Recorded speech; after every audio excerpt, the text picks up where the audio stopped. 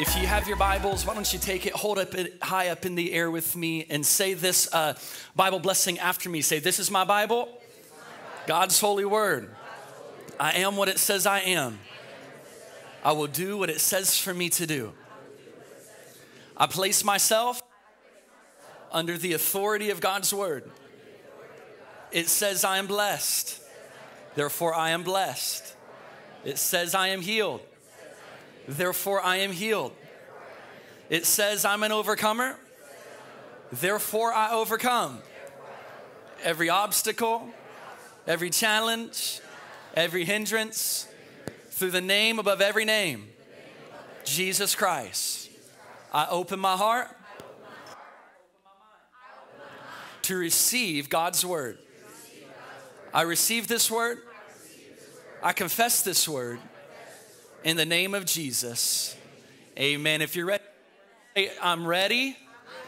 Hey, now take that Bible and turn with me to John chapter 20. We're going to be looking today at the story of Jesus and a, and a man named Thomas. Often, uh, Thomas gets a bad rap because uh, Thomas is known as doubting Thomas. So we're going to uh, pick up in John chapter 20, verse 24. It says this One of the 12 disciples, Thomas, named the twin, was not with the others when Jesus came. They told him, We've seen the Lord. But Thomas replied, I won't believe it unless I see the nail wounds in his hands, put my fingers into them, and place my hand in the wound in his side. Eight days later, the disciples were gathered together again. This time, Thomas was with them. The doors were locked, but suddenly, as before, Jesus was standing among them. Peace be with you, he said. Then he said to Thomas, Put your finger here and look at my hands. Put your hand in the wound in my side. Don't be faithless any longer Believe. My Lord and my God, Thomas exclaimed. Then Jesus told him, You believe because you have seen. Blessed are those who believe without seeing me. Can we go to Lord in prayer this morning? Father, we thank you, God, for the opportunity to come and to break uh, the bread of your word. Lord, we come to your table, God, on your terms. And Lord, today I pray, God, that as we gather together as a community of faith, that we will be changed by your word. God, our hearts, our minds are open to receive what you have for us. God, I pray today our lives be forever changed by being in your presence. And everybody said, Amen. Amen. I want you to uh, imagine something with me. If I were to tell you to, to close your eyes and I was to say, hey, I want you to imagine what Jesus looked like, what would he look like to you? You know, sometimes I think uh, we paint a picture of who Jesus is that probably isn't always consistent with the Word of God. In fact, as, as a culture, we're actually really obsessed trying to know what Jesus might have looked like. You know, I, I, don't know about you, but I do know this. Jesus probably did not look like me. You know, my color, uh, lack of hair on top of my head, a, a lack of beard or something like that. And, and as a culture, we're obsessed with knowing, man, what did Jesus look like? It's a topic in recent years. And in fact, there's been like recent uh, studies or recent history to kind of reconstruct what Jesus might look like. One of these ways was uh, through what's called the Shroud of Turin. And the Shroud of Turin, uh, history believes that this might have been the garment that Jesus was wrapped in between his crucifixion as he was placed into the tomb. And this garment is like 14 feet long and wrapped around the body. And in 2018, researchers in Italy, they did a rendering a 3D carbon copy of what Jesus' body or the, the man's body of that this cloth would have been laid around. They formed this into a statue that actually was five feet by 10 inches, representing what Jesus might have looked like. Then you've got uh, archaeologists that have kind of tried to reconstruct a painting of maybe what Jesus would look like. And there's this guy, his name's Richard Neave, where he took three different skulls. Uh, from an Israeli archaeological site near where Jesus was believed to be born at the same time period he's believed to be born. And he used a computerized x ray and ultrasound methods to try to create a model of what Jesus might look like. And so, based on anthropological and genetic data, he came up with an image of what Jesus might have looked like. And as a society, we are like obsessed with what Jesus might have looked like, but I think we're asking the wrong question. I, I, think the question actually comes from a place of error to begin with. That we ask a question like, What did Jesus look like? when instead we should be asking the question, What does Jesus look like? And we form ideas around who Jesus might be. We paint pictures of him of who he used to look like while neglecting what scripture teaches us about what Jesus looks like today. And I submit that we get an incredible description of what Jesus looks like right here in John chapter 20. I remind you that John 20, the passage that we're reading today, comes after Jesus' crucifixion. Jesus has already been resurrected from the dead. And now he spends about 40 days talking and communing with the disciples before he ascends to the Father. So Jesus is in his resurrected body right now. And I think we get a beautiful glimpse into what the face of Jesus and his body looks like. If you're taking notes, fill in the blank is this the face of Jesus is the face of the forever scarred God. We see from John chapter 20 that Jesus comes to Thomas and he, he shows him the scars in his hands.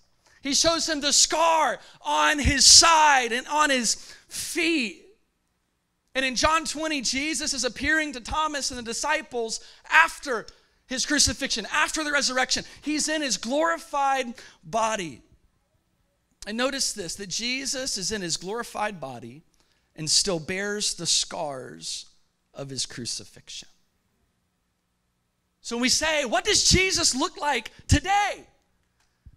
Jesus today still bears the scars of the crucifixion 2,000 years ago. The face of Jesus is one that bears the scars of his beating and his whipping. Because Jesus is the God that bears the scars of humanity forever. And in our, in our pursuit of trying to understand what Jesus of Nazareth might have looked like, we neglect and we forget that the face of Jesus is the face of the forever scarred God. We sing songs like, God, show me your face. I want to see your face, Jesus. But the face that is looking at us is the face of the one that bears the scars of the crucifixion. I want to title my thoughts this morning, The Forever Scarred God. Thomas Aquinas, 500 years ago, he wrote this It is evident that the scars with Christ showed on his body after his resurrection have never since been removed from his body. So, what does it mean that Jesus, our Savior, Jesus, our Lord, Jesus, our God, still bears today in his body the scars of his humanity? If you're taking notes this morning, I want to preach three things of what Jesus' scars speak of. Point number one is this Jesus' scars speak of God's love of humanity. See, I, I think uh, many of us in here have a scar. Anybody in here have a scar on your body, right? Maybe uh, from when you were playing, when you were young. I, for me, uh, I have a scar uh, right here on, on my arm. If I was to lift up my, my sweater, you could see it uh, from, from, from a fishing story growing up. And uh, I, I, grew up and I, I, had this friend, his name was Blake Chambers, and, and he lived two, two houses down from me. And uh, we loved to fish. So about we were like eight or nine, and Blake would come to church and and whatever it was this sunday after the first service i go to my dad i'm like dad hey can i can, can i go home with blake a little early and let's go fishing and, and normally, my, my dad does not allow uh, us to skip church like that. He's like, You're here all day. Uh, you went to church and then you served in another service. That was kind of the flow. But for whatever reason, this day, he, he allowed me to go home with Blake. And so uh, we're going and, and we're going to go fishing and we've got this little pond down by our house. We hop on our bikes take our fishing poles and, and at this time the, the lake that we fished uh, th- there was uh, we'd fish from the bank. We didn't have a boat. We were eight or nine right? And about six feet back from where you would fish there was a bunch of bushes and trees and and so we'd take our lure we'd throw it out. But what would happen a lot of times is we would take our lure and sometimes you get caught in the bush or the tree and then we'd have to yank it out now we're eight or nine years old we aren't uh, being real careful and going over and, and just carefully plucking out the lure. Now we're, we're like, it gets stuck, we yank it and just say, if the pole breaks, daddy will buy a new one. You know what I mean? So we're just like, we're yanking it. And this was just common practice for us as young boys. And uh, one day I'm fishing about maybe five or six feet right of Blake, and he's to my left. And I got a little too close to him, and he winds back, and he thinks that he got stuck in the branches behind us. But instead, I look down and I see a lure just resting carefully on my arm. And I look down and it was just resting there. I said, Oh, wait, Blake. And he didn't hear me soon enough. And he goes, Whoop! And I can see it as plain as day that lure, the two of the three trebles just going right in my arm and going, Oh, you caught me. That day, Blake caught the biggest fish he'd ever catch and we go to the hospital. You know, like, like this is why you don't skip out on church. My, my grandmother used to say, or my great grandmother, my father's grandmother, she used to fish every day of the week except for Sundays. Because Sundays, you catch devilfish. And so, undoubtedly, Blake caught a devil fish that day. And so we go, we go, we, we go to the, the hospital and in the emergency room, and my mom's there, and the doctor says, Well, uh, never seen this before let me go out to my truck and grab my pliers. And we laughed. Like, we are like, that's funny. He's to go to his truck and grab his pliers. Sure enough, he comes back in with some pretty rusty pliers and proceeds to take the hook out. But you know what's wild? Did that cause me to stop fishing? No. the pain that I experienced did not cause me to stop fishing. Why? Because I love fishing. I went right back out the very next day, very next week, and went right back out of it. See, scars kind of remind us of something. But I want us to see that the scars that Jesus bears bear witness to his love for humanity, that the incarnation of Christ is a revelation of God's love for humanity. That, that, that Jesus leaving heaven to come and walk on earth as a man, being born of the Virgin Mary, is a revelation of God's love for you, of God's love for me, of God's love for humanity. And in theology, this is often called what's called a theophany, a revelation of who God is. And Jesus on the cross is not a condemnation of humanity, but is rather a revelation of God's love for humanity. And God taking on humanity in the life of Jesus is a revelation of God's love for us. God did not condemn humanity on the cross, rather, God judged sin and showed his love for humanity on the cross. Anybody thankful today that God loved us enough to leave his throne in heaven, to come and become a human and live a human life and go to the cross to show his love for us. See, but we got to see this too that God has attached himself to humanity to never be detached from humanity that Jesus becoming human, God becoming human and entering into flesh was not something that he did for 30 years and then he rose from the dead and then threw off humanity. But Jesus loved us so much that he attached himself to humanity to never be detached.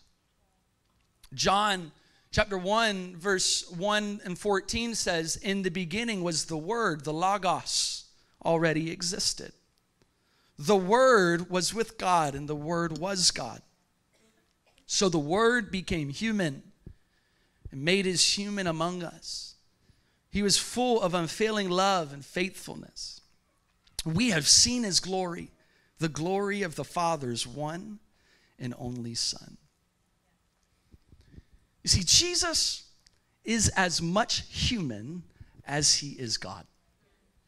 And Jesus is as much God as he is human. And the two cannot be separated from one another. That Jesus' humanity cannot be separated from who he is, just like Jesus' divinity cannot be separated from his humanity.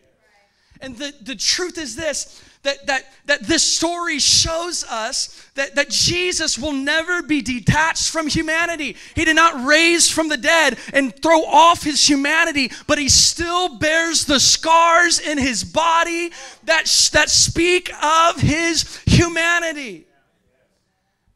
And when we think of humanity, we think of it as something to just throw off, to, to, to get out of, that, that, that, that we, we need to die so that we can leave these bodies behind.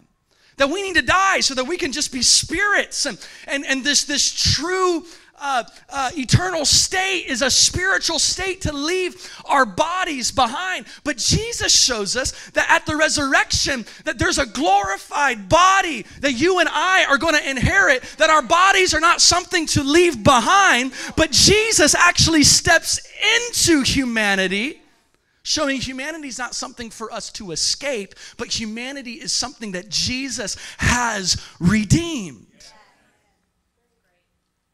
See, we think of humanity as something that we got to get away from. But we serve the God that did not escape humanity, rather, he stepped into it. And the incarnation, when we understand it, it is a defeat of all escapist theology that says, I just can't wait to get out of this body and out of this life. And Jesus' scars show that God is not distant, distant from our pain and brokenness, but rather Jesus has joined us in our suffering. That Jesus has joined us in our suffering. And Jesus shows Thomas that he did not desert Thomas. Rather, he had joined Thomas in his suffering.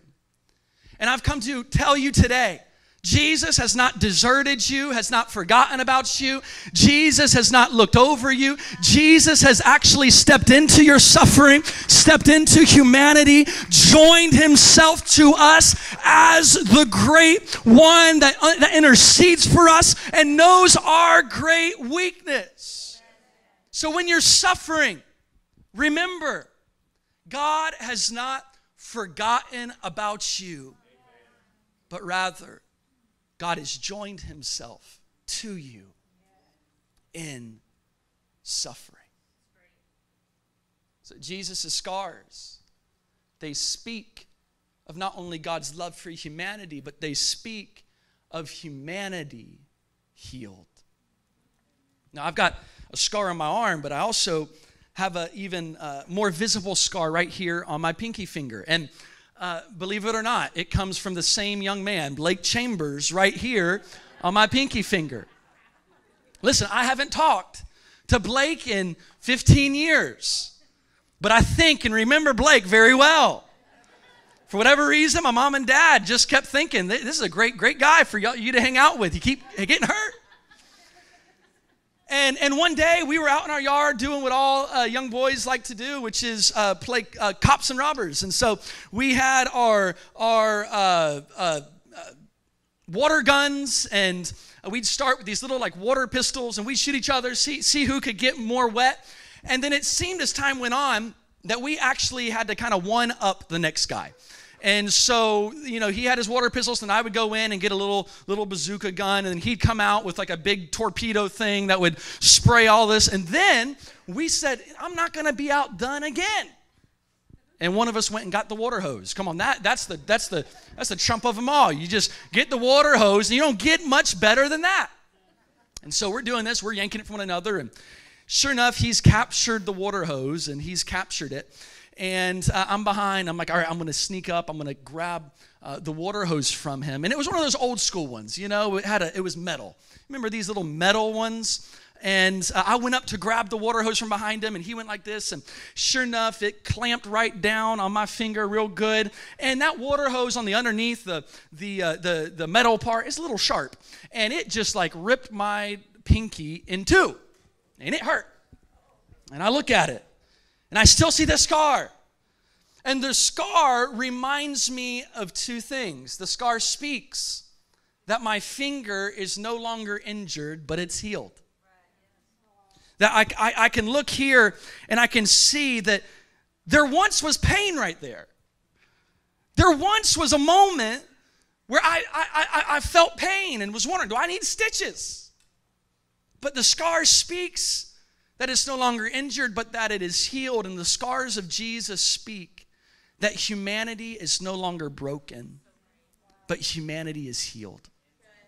See, Jesus healed in his humanity what humanity could not heal in itself. And when Jesus shows Thomas the scars in his hand, he is saying, Thomas, I did for you what you could not do for yourself.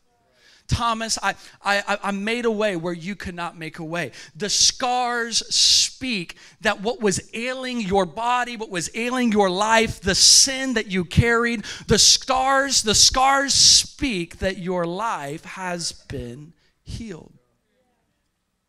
See, Jesus became human to heal what we could not heal ourselves. But the, the second thing that the scar kind of reminds me of is the scar on my finger also reminds me of what I've been healed from.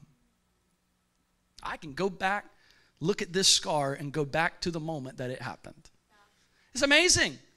A scar kind of like implants something into your mind and implants a event. A, you can like go right back there. You can go right back to the moment that it happened. And by simply looking at the scar, I'm reminded of the pain and the moment I experienced. And the scars of Jesus are a reminder of what humanity has been healed from. They remind us that, that we're not broken any longer, but it also reminds us of what we've been healed from. That humanity's been healed from hate We've been healed from injustice, from sin. Violence means that we no longer have to continue down the same patterns that we used to do. We don't have to live as humans in the cycles of hate and injustice and violence and sin any longer because the scars of Christ testify to Christ's victory over the things we could not get victory over. I'm thankful that Jesus got the victory for me when I could not get the victory for myself. And the scars of Jesus proclaim that humanity's healed. The scars of Jesus proclaim that in his body he bears humanity's healing. And Jesus stands forever in perpetuity as the God that became man to never be divided from humanity, proclaiming that through his scars, the healing of humanity. St. Gregory said this that which Jesus has not assumed, he has not healed. If he cannot represent us, then he cannot redeem us. But I, think in our modern evangelical way, we have created an image of Jesus that is distant from who the Bible says he is, from what orthodoxy says he is. And we've created an image, if you will, of Jesus in our image instead of an image of him being presented to us here in John chapter 20. See, what is it that you need healing from? Because Jesus bears the scars that speak to the healing you need that Jesus bears in his body the scars that speak of your healing. So, what do you need healing from? Just touch the scars of Jesus. Like Thomas touched the scars of Jesus and said, Oh Lord, my God, we too have been invited into knowing that Jesus has not distanced himself from humanity, but Jesus has entered into our pain and into our suffering, and he has healed what we could not heal ourselves. Touch the scars of the forever scarred God, because God's scars speak that the brokenness of your humanity, of my humanity, has been healed. And in Genesis 4, we see that Cain is cursed. He murders Abel, he's cursed to be a restless wanderer. And, and Cain bears a mark on his body as a sign to people that would come and, and try, to, try, try, to, try to kill him.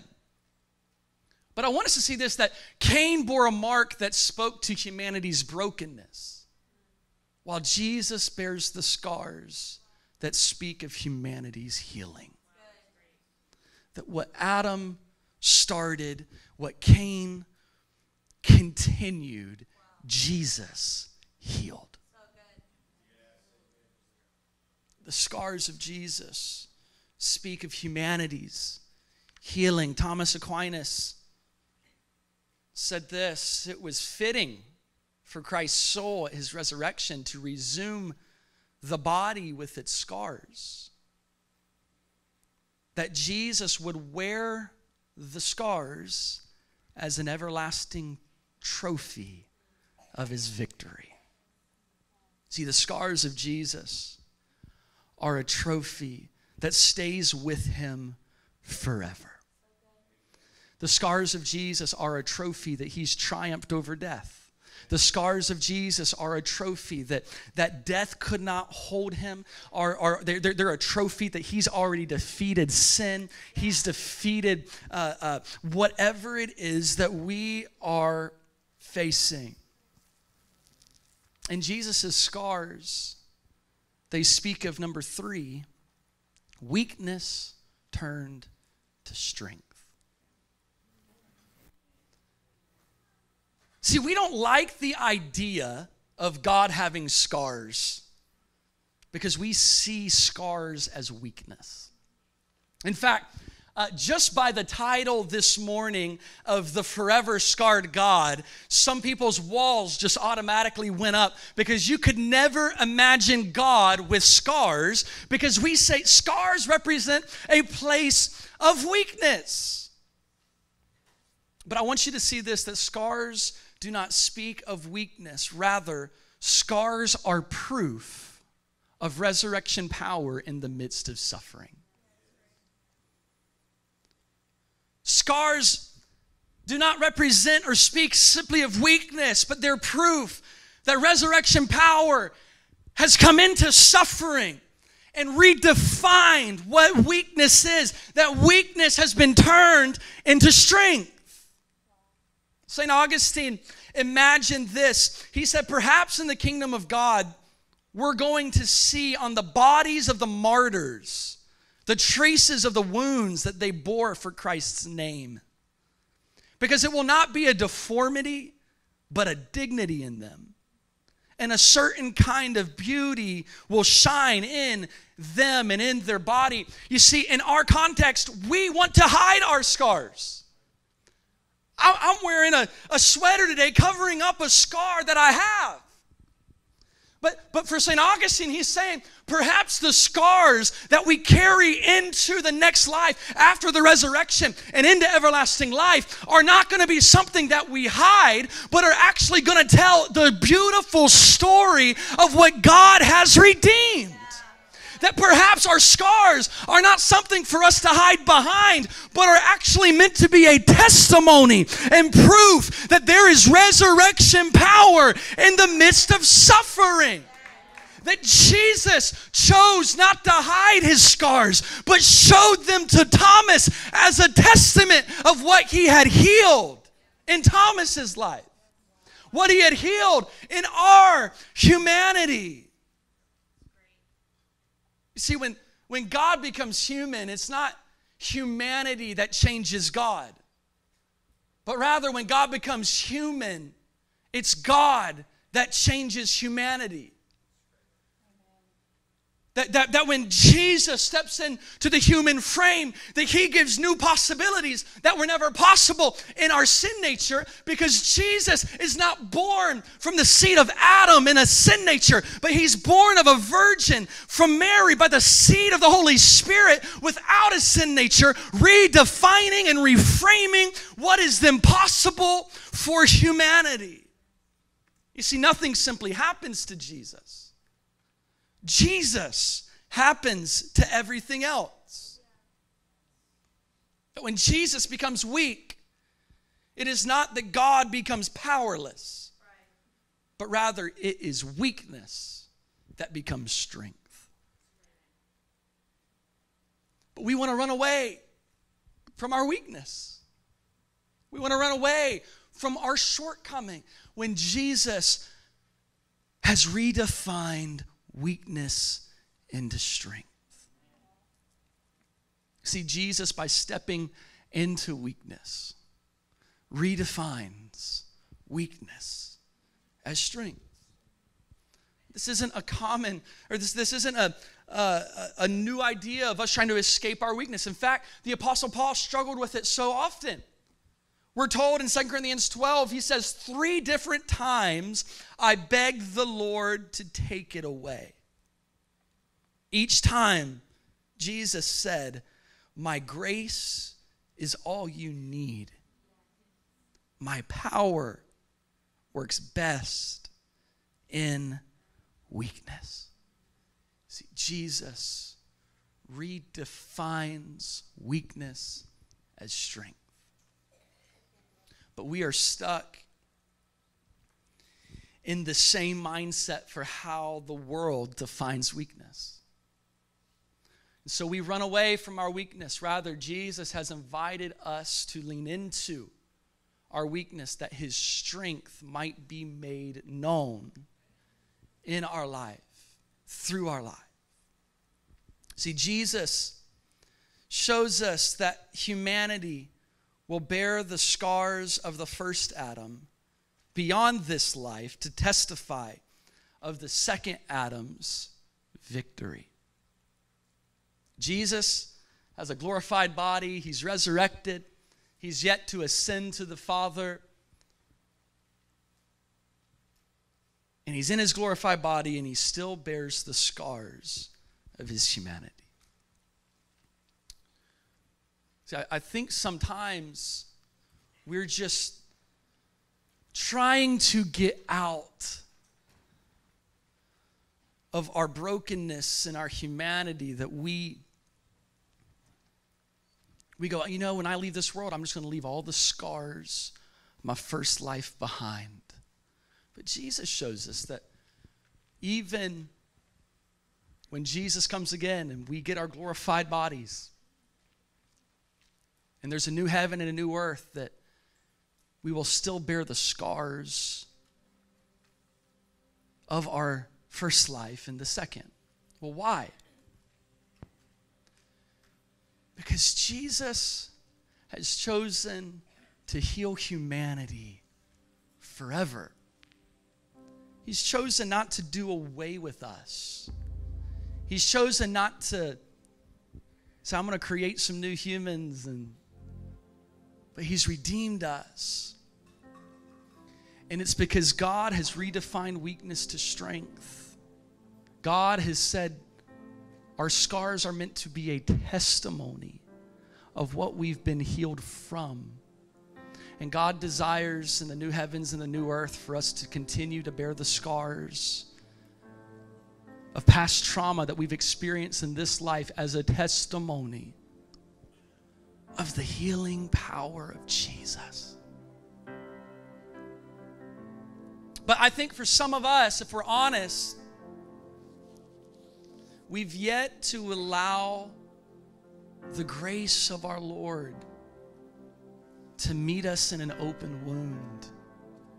And many of us have been carrying the same hurt years and years and decades and decades. And the wound is still open, and we don't quite have a scar yet. That the wound is still open,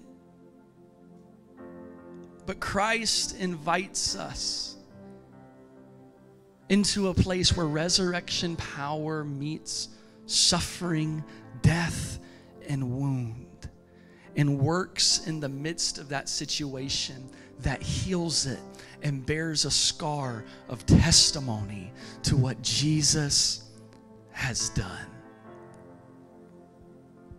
When we're healed from past trauma or pain, we bear the scars of the first Adam that testify to the life of the second Adam, Jesus. We bear the scars of Christ when we move from pain into his promise, from sorrow into his joy, but we move out of our brokenness into a life of wholeness. And as we're in the Lent season, we approach Good Friday, we approach Easter, we approach this. I want us to make sure and remember who Jesus is that the face of Jesus is the face of the forever scarred God. That He's met us in our suffering. That He's chosen not to throw off humanity as a garment, but that He's chosen to heal what we could not heal the face of Jesus is the face of the forever scarred. We pray this morning, Father, I thank you. I thank you that you did not think of us as something unworthy, but Lord, you loved the world so much that you gave your life for us. That while we were still sinners, living in our sin, you died for us, Lord. You came, Lord. Lord, I pray right now, God, for any person that is still bearing open wounds. God, I pray today that this message will speak that you have invited us in to healing. God, that we will no longer walk around bleeding on other people, but Lord, we will allow you to heal the wounds in our life so that we can show the scars of our healing as a testimony to you, Lord. Maybe you're in this room this morning and and you're going, man, I, I, I, I want to give my life to Jesus. I want to, I want to ask Jesus to be the Lord of my life. I've, I've lived too long in my sin, and I want to come out of my sin and out of darkness and out of trauma and out of my wounds of my past. And you say, I want to give my life to Jesus. Or maybe you want to say, I want to rededicate my life to Jesus on the count of three. What I want you to do, I want you to lift your hand and I want you to say, I want to make Jesus the Lord of my life, my Lord and my Savior. One, go ahead and lift up your hand. Two, three. I see that hand. I see that hand. Thank you, Lord. I see that hand. I see that all across this room. Lord, we say, God, we don't want to stay in our brokenness any longer, but Lord, we want to enter into life everlasting. God, we want to leave brokenness and step into wholeness. So, Lord, meet us here. Lord, meet us in our pain. Meet us in our brokenness. meet us in our suffering. Can we stand together, church? And as we stand, can we declare this out? Can we just declare that He is the same God that loves us, that cares for us? Come on and declare this today. Come on, say, You heard your children.